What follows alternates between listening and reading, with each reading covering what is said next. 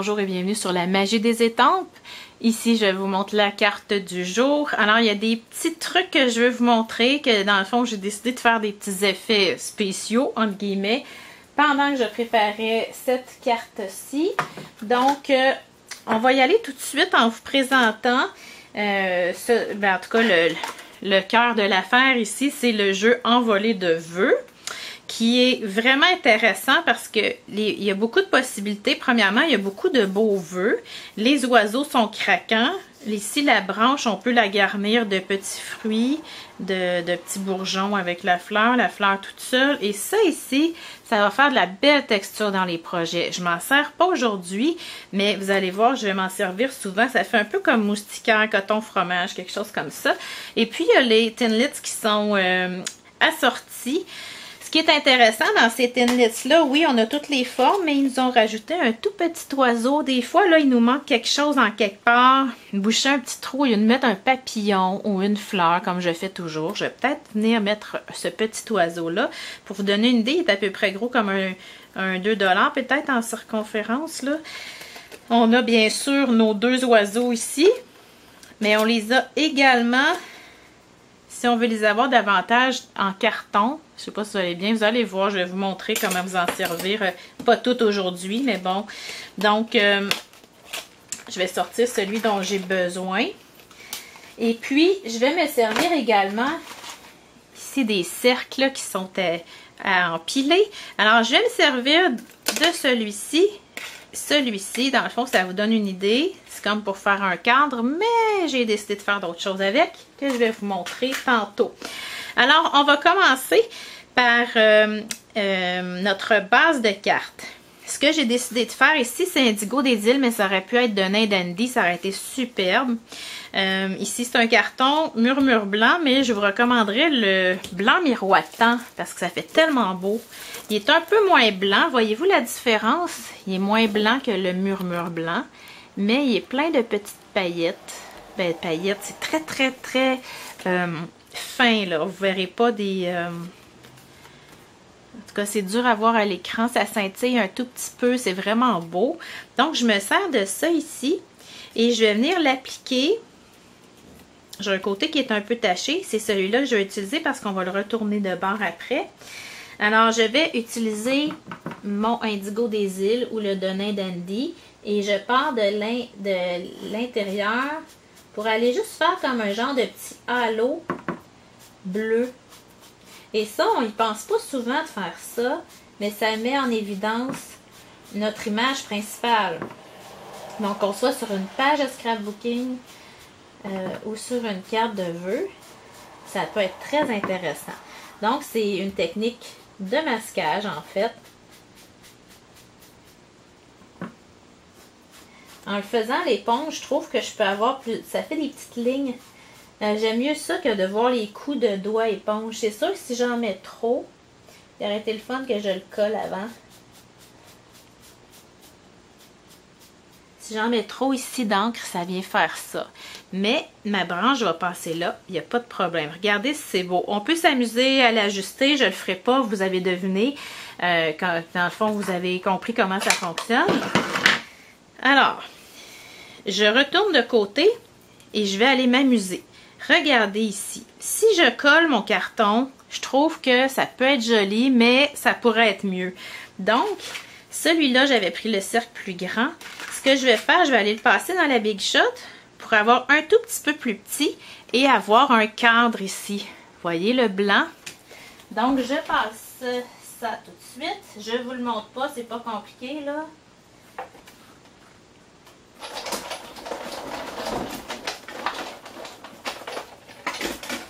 Alors, ça me donne, regardez ma forme un petit peu plus petite. On va aller s'amuser avec ça maintenant. Je vais réserver ça. Alors, sur mon, modèle, j'avais choisi pêche fraîche et euh, vert olive. Et là, je vais essayer d'aller faire changement en allant prendre du narcisse délice avec le vert olive.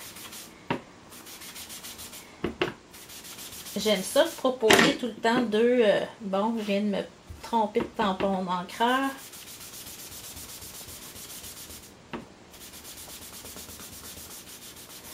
On pourra ajuster au besoin. Le verre olive. Ouf, j'en ai mis beaucoup. Dans le fond, il en restait sur mon enveloppe, sur mon enveloppe, pardon, sur mon éponge. Et je m'en souvenais pas. Si je dépasse, c'est parce que je dors pas beaucoup. Donc, euh, pardonnez-moi. Et souhaitez-moi de dormir. ok, on y va avec ça. C'est pas plus compliqué que ça. Je les laisse sortir mes tampons parce que je vais avoir besoin de colorer avec. Alors, on peut presser les tampons doucement, recueillir de l'encre dans le couvercle. Donc, on va se servir avec le crayon estompe pour aller colorier. Alors, j'ai ma, portion de base et là, j'ai du bleu sur mes doigts. Ça peut faire des taches comme ça. C'est pas trop souhaitable.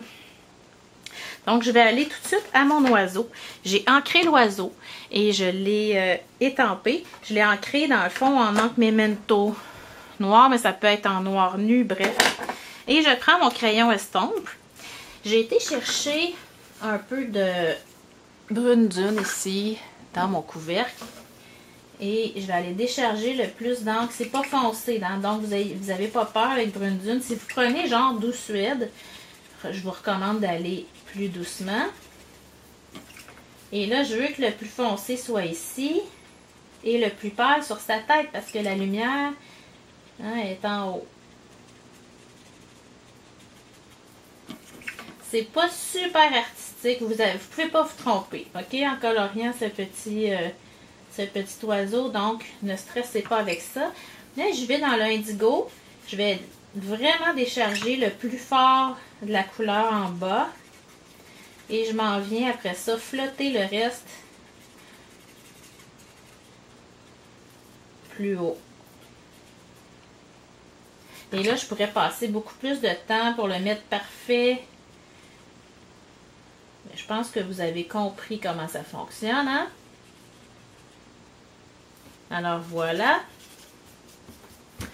Ensuite, la petite branche je me rends compte que j'ai oublié de, l'étamper.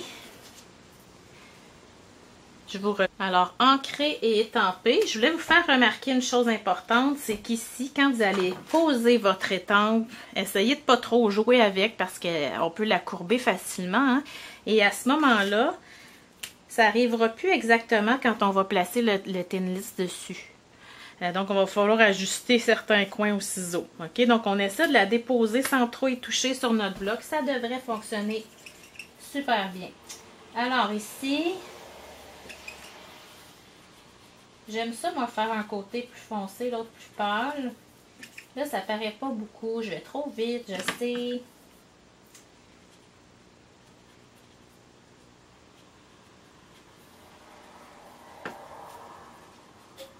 Donc, je nettoie un petit peu à côté. Je fais attention à ma pointe. Je change de couleur. Ça aurait été vraiment bien si j'avais pris un genre le doux suède. J'aurais aimé ça faire ma branche un petit peu plus foncée. Mais là, je ne prendrai pas le temps d'aller chercher. Voilà, on va dire que c'est parfait, OK?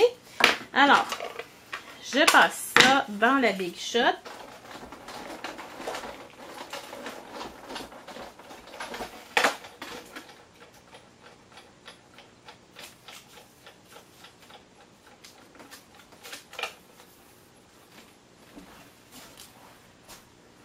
Donc, ici, ça bouge un petit peu. J'avais pas ma plateforme magnétique. J'ai pas pris le temps, donc des fois, ça arrive que ça bouge comme ça.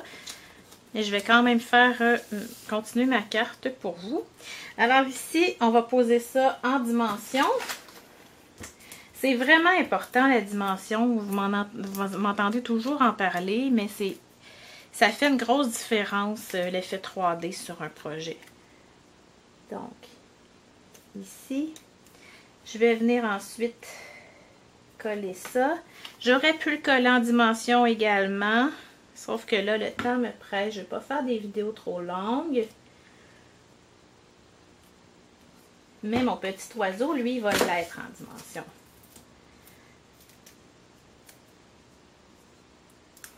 OK.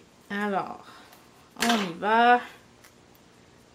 Oups. J'avais oublié qu'il y avait un petit quelque chose entre les pattes. Voyez-vous, il va venir cacher la petite tache ici. Voilà. Donc, ça fait un petit peu moins chaud. Vous allez voir que l'autre tantôt avec le pêche parfaite. Mais je n'ai pas fini. Donc, on va venir ici ancrer le vœu Une pensée pour vous. Je trouve ça agréable qu'il ait pensé à mettre ça au vous parce que on a beaucoup de vœux qui sont pour toi. Et c'est le fun des fois quand on s'adresse à un couple, par exemple, d'avoir des vœux qui sont pour vous. Ce qui est intéressant aussi dans, ce jeu-là, c'est qu'on peut se servir de ça pour aller enjoliver les vœux. Aviez-vous déjà vu ça? Moi, ça, euh, ça m'est venu comme un éclair quand j'ai vu ça. Je me suis dit, faut que j'aille mettre des fleurs après ce beau vœu-là. J'aurais pu prendre des fruits. Regardez, ça, ça vient faire un beau complément. C'est un beau rappel. Alors, il reste à colorier ça rapidement. Je sais déjà que je vais préférer je pensais préférer la carte dans le jaune. Mais euh, finalement, je pense que la pêche fraîche est très belle. Elle fait un petit peu plus joyeuse, un petit peu plus chaleureuse. Voilà. Ce qui me resterait à faire, ça serait d'aller perforer. Je ne le ferai pas. Mais je vais vous montrer par contre celles qui ont encore les poinçons qui sont retirés pour arrondir les coins, la perforatrice coin sinueux, ça serait très joli. On pourrait la poser en dimension également. Moi, je vais sauver un petit peu de temps en le faisant, en collant directement sur la carte. Ce que vous auriez pu faire avant de coller, c'est arrêter de perforer ici avec le petit matelas et l'outil perceur pour donner un effet encore plus de beaux petits détails. Voyez-vous? Là, vous avez la... Vous pouvez comparer les deux. Pêche fraîche, vert olive, narcisse délice et vert olive. Alors, ça fait un beau petit projet. Ce que je vous inviterais à faire également, ça serait d'aller décorer l'intérieur. Probablement que je remettrais un carton blanc, la petite branche avec l'oiseau qui est de l'autre côté ou le tout petit oiseau. Ou aller placer un cercle, bref, c'est vous qui décidez. Autre petit détail, vous pourriez vous servir de ça. Dans le fond, c'est la partie qu'on a enlevée en faisant notre cadre pour décorer l'enveloppe ou décorer l'intérieur. Si vous mettez euh, un cercle blanc, peu importe, allez le poser sur votre enveloppe. C'est intéressant de l'avoir, il y a des belles couleurs. Alors, j'espère que ça vous inspire et je vous souhaite une très belle journée.